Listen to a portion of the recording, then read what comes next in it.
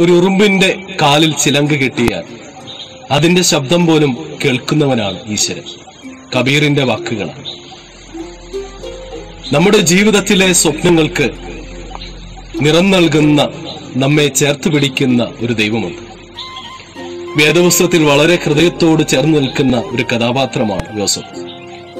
ഇത്രയേറെ വേദനകളുള്ള ഒരു മനുഷ്യൻ തനിക്ക് വളരെ ചെറുപ്പത്തിലെ ദൈവം തമ്പുരാൻ ഒരു ദർശനം നൽകുന്നുണ്ട്. നിന്നെ വലിയവനാക്കുമെന്നുള്ള ദർശനമാണ്. യോസഫ് അത് വിശ്വസിച്ചു അതിനുവേണ്ടി ദൈവത്തിൽ ആശ്രയിച്ച് യാത്ര ചെയ്യുകയാണ്. തന്റെ അപ്പൻ യോസഫിനെ കൂടുതൽ സ്നേഹിക്കുന്നു എന്നറിഞ്ഞപ്പോൾ സഹോദരൻക്കെല്ലാം വല്ലാത്ത ഒരു വൈരാഗ്യമുണ്ടാകുന്നു. അസൂയ തോന്നുന്നുണ്ട്. ഫ്രാൻസിസ് മാർപ്പാപ്പയുടെ വാക്കുകളിൽ ഇന്ന് ക്രൈസ്തവ ലോകത്ത് ഏറ്റവും കൂടുതൽ പിശാസ് ഉപയോഗിച്ചുകൊണ്ടിരിക്കുന്നത് അസൂയയാണ്. മറ്റൊരാൾ ഉയർച്ചയിൽ അസൂയപ്പെടുന്ന ഒരു കാലഘട്ടത്തിലൂടെയാണ് നാം സഞ്ചരിച്ചുകൊണ്ടിരിക്കുന്നത്. യോസഫിന്റെ വളർച്ച ഇവരെ വല്ലാതെ അസ്വസ്ഥപ്പെടുത്തുന്നുണ്ട്. ഒരിക്കൽ ആടുകളെ മേയിച്ചുകൊണ്ട് മലയുടെ മുകളിൽ സഹോദരന്മാരായിരിക്കുന്ന സമയത്ത് യോസഫിനെ തന്റെ അപ്പൻ പറഞ്ഞു വിടുന്നു തുരുത്തിക്കകത്ത് വെള്ളവും അപ്പവുമായി. ആ യാത്രയിൽ അങ്ങ് അകലെ നിന്ന് തന്നെ സഹോദരന്മാർ യോസഫിനെ കാണുന്നു. ഗിതയുടെ സ്വപ്നക്കാരൻ വരുന്നുണ്ട്. യോസഫ് മലയുടെ താഴ്വരെ വന്നപ്പോൾ തന്നെ അവനെ എങ്ങനെ നശിപ്പിക്കാമെന്നുള്ള ചിന്താഗതികൾ മുകളിൽ നടക്കുകയും ആ സഞ്ചാരപഥങ്ങളിൽ ചെന്നെത്തുന്നത് തന്റെ പ്രിയ സഹോദരനെ എടുത്ത് പൊട്ടക്കിണറ്റിലേക്ക് എറിയുന്നതിലൂടെയാണ്. ഓർക്കുക ദൈവമക്കളെ ദൈവം നമുക്കൊരു സ്വപ്നം നൽകിയിട്ടുണ്ടെങ്കിൽ ദൈവം നിന്റെ കൂടെയുണ്ടെങ്കിൽ ആർക്കും നിന്നെ തകർക്കുവാൻ പറ്റില്ല.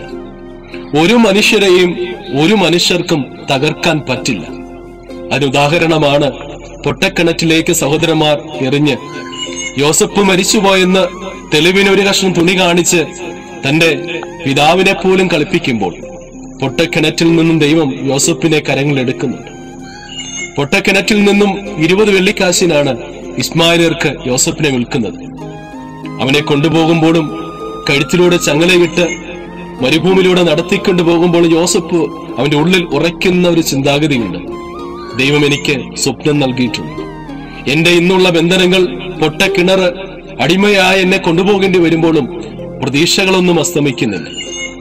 പൊത്തിഫറിന്റെ കാരാഗ്രഹത്തിൽ എത്തുമ്പോൾ യോസഫ് ദൈവത്തിൽ അടിയുറച്ചു നിൽക്കുന്നുണ്ട് ഏറ്റവും ഒടുവിലായി യോസഫിനെ നമ്മൾ കാണുക മിശ്രൈമിലെ മന്ത്രിയായിട്ടാണ്. പൊട്ടക്കിണറ്റിൽ ജീവിതം തീർന്നെന്നോർത്ത് ഉപേക്ഷിച്ച ജോസഫ് മിശ്രൈമിലെ മന്ത്രിയായി ദൈവം ഉയർത്തി ദൈവത്തോട് കൂടെയുള്ള ഒരു യാത്രയാണെങ്കിൽ വിശ്വസ്തനായി നിൽക്കുവാൻ സാധിക്കുമെങ്കിൽ ഇപ്പോഴുള്ള മരുഭൂമികളും കാരാഗ്രഹങ്ങളും പൊട്ടക്കിണറും പ്രതീക്ഷകൾ അസ്തമിക്കുന്ന സാഹചര്യങ്ങളും ഓർത്ത് സങ്കടപ്പെടേണ്ടതില്ല എത്ര നല്ല ഉറപ്പാണ് ദൈവം നൽകുന്നത്. ദൈവം നിന്റെ കൂടെയുണ്ടെന്നുള്ള ഒരു ഉറപ്പ്. യോസഫിന് സ്വപ്നം നൽകിയാൽ വിശ്വസിക്കുന്നവനായിട്ടുള്ള യോസഫിനെയാ കാണും അവനത് ഉറച്ചു വിശ്വസിച്ചു. അതിനുവേണ്ടി ദൈവത്തിൽ ആശ്രയിച്ചു. എപ്പോഴും ദൈവത്തോട് പ്രാർത്ഥിച്ചുകൊണ്ടിരുന്നു. അവന്റെ വിശ്വാസത്തിൽ ഇത് നന്മയായി കണക്കിടുന്നുണ്ട് പൊട്ടക്കിണറ്റിലേക്ക് എറിഞ്ഞ സഹോദരങ്ങൾ തന്നെ ദേശത്ത് ദാരിദ്ര്യമുണ്ടാകുമ്പോൾ ഇവന്റെ അരികിലേക്ക് ചാക്കുമായി വരുന്നുണ്ട്. ആ സമയത്ത് വേണമെങ്കിൽ വൈരാഗ്യം തീർക്കാം. പകരം വീട്ടാനുള്ള അവസരമാണ്.